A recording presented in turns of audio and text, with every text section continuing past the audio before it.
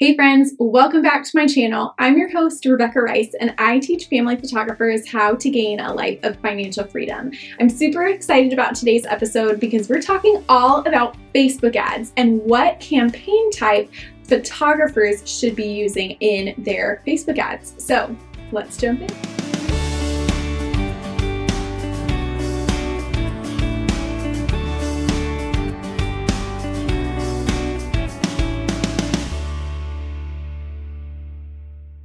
If you haven't already, go ahead and give this video a thumbs up and hit that subscribe button so that other people can find this video if you find it helpful and also so that you can get notified um, every time we have a new video go live.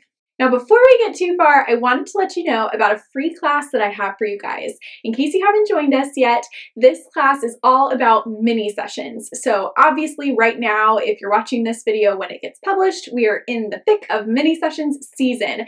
And so if you're wondering how to, you know, jump in and book out a date of minis before it's too late, then watch that class for sure. We'll link it here in the show notes, but if you want to type it in, go to RebeccaRicePhoto.com slash minis dash class. I promise you're going to leave with pages of notes and stuff that you can apply right away to book out a date of mini sessions. Okay, so let's get into the nitty gritty of Facebook ads. Now, I know Facebook ads can be you know, intimidating, they can be scary, they can be frustrating, especially if you aren't as familiar with them.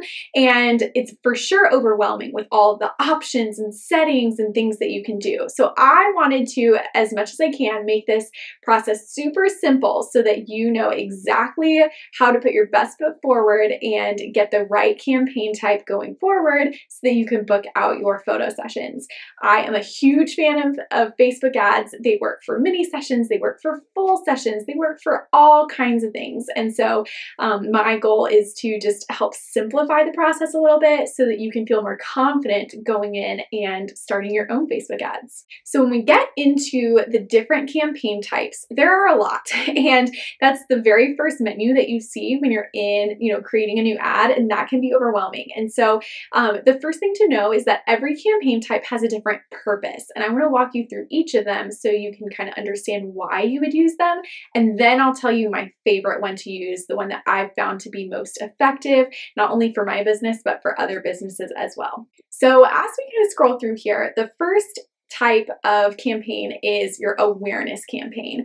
Now that awareness campaign, really the purpose is to, um, you know, be an introduction to your business. A lot of times people use this as a way to create an audience to then later retarget. It's used a lot more in like advanced Facebook ad strategy. And so um, it has a great purpose, but not really the one that I would say to go with when you're looking at your campaign type for your photography business. The next option we have is traffic. And the purpose of a traffic ad is to get as many eyeballs to your website as possible. You want to drive traffic.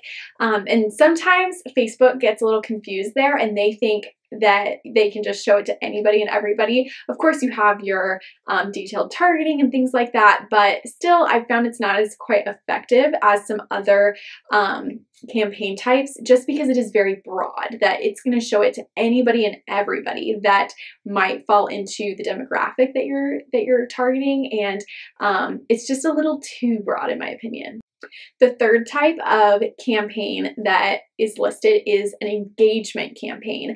And this is um, the goal is what it sounds like to get people to engage with your ad, whether that's, you know, commenting or sending a message or taking some kind of action on your ad.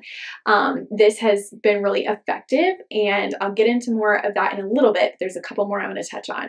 The next campaign type is your leads campaign. And what this is, is it Facebook has an internal form that potential clients can fill out and you know they put their name their email whatever and it collects a lead for you to then follow up with at a later time. While yes the goal of what we're trying to do is get leads for bookings that internal form doesn't really convert well. I get what facebook's trying to do but from my experience and i've tested it it doesn't work the best in actually converting people to, into bookings.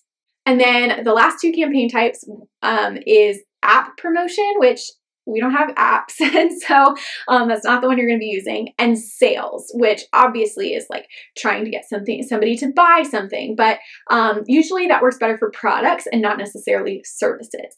So if you've been following along, um, kind of narrowing down the campaign type that I've found to be most effective for booking photography sessions is the engagement campaign. And specifically, when you like click that engagement campaign, you see that there's a lot of different options of ads that you can do as an engagement campaign. My favorite and the one that I've found that just works the best, that converts the best, is Messenger ads. And basically, what that means is when somebody clicks on the ad, they are sent into Messenger, either Facebook Messenger if they're clicking it on Facebook, or Instagram DMs if they're clicking it from Instagram and um, you're able to then have a conversation with them in that ad. So I have another video where I walk you through how to set up an Instagram or a Facebook and Instagram Messenger ad.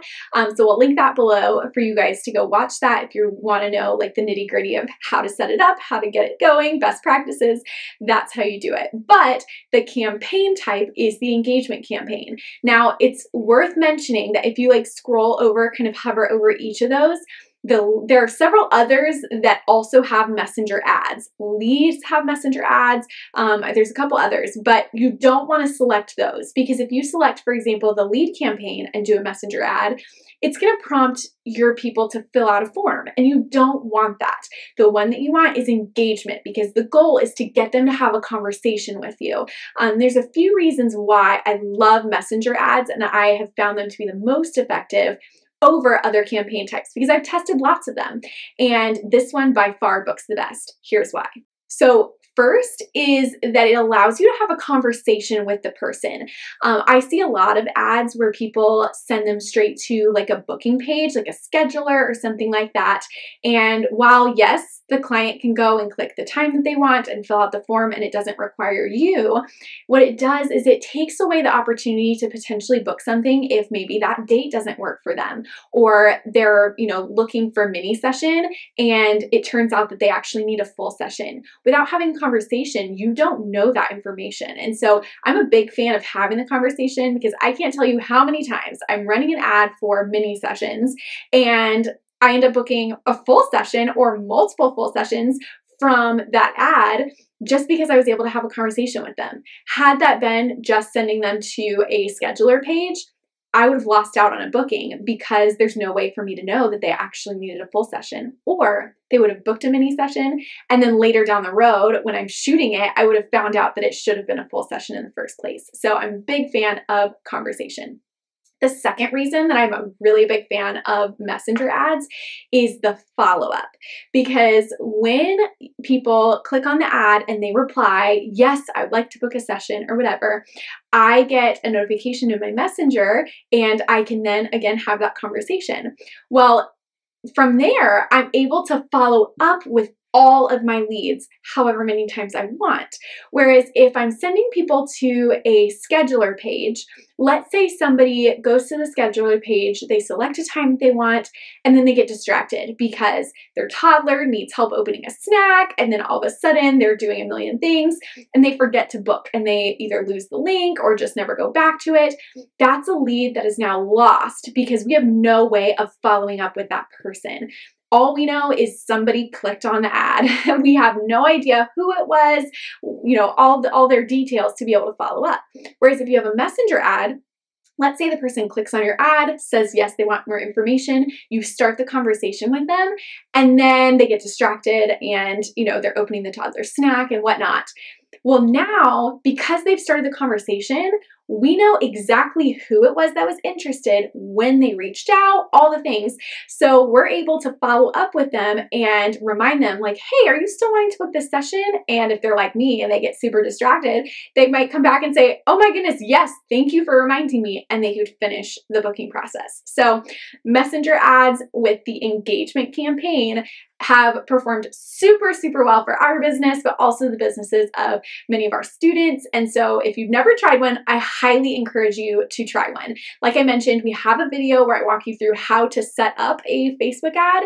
Um, so definitely go check out that video. I also do have a Facebook ads mini course available in my shop. So I'll link that below too if you want to um, just dive in. It's not very long, so you'd be able to binge it, but it will get you to know everything that you need to know to put forth a successful ad um, for your photography business. So I hope this was helpful. If you have any questions at all about Facebook ads, and I know they they can be really overwhelming and confusing, just comment them below and I would love to come through and answer as many of them as I can. So with that, we'll go ahead and sign off and I'll see you back here next time for another helpful video.